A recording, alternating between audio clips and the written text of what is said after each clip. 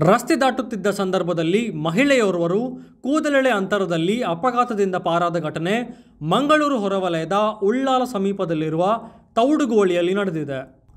ತನ್ನತ್ತ bus ಬರುವುದನ್ನು ಗಮನಿಸದೆ ನಿರ್ಲಕ್ಷ್ಯದಿಂದ ಮಹಿಳೆ ರಸ್ತೆ ದಾಟುತ್ತಿದ್ದರು. ಇದೇ ಹೊತ್ತಿಗೆ ಖಾಸಗಿ ಬಸ್ ಒಂದು ಈ ಮಾರ್ಗದಲ್ಲಿ ಸಂಚರಿಸುತ್ತಿತ್ತು. ಚಾಲಕನ ಸಮಯ ಪ್ರಜ್ಞೆಯಿಂದ ಅವಘಡ ತಪ್ಪಿದೆ. ಘಟನೆಯ ದೃಶ್ಯಾವಳಿ ಸಿಸಿಟಿವಿಯಲ್ಲಿ ಸೆರೆಯಾಗಿದೆ.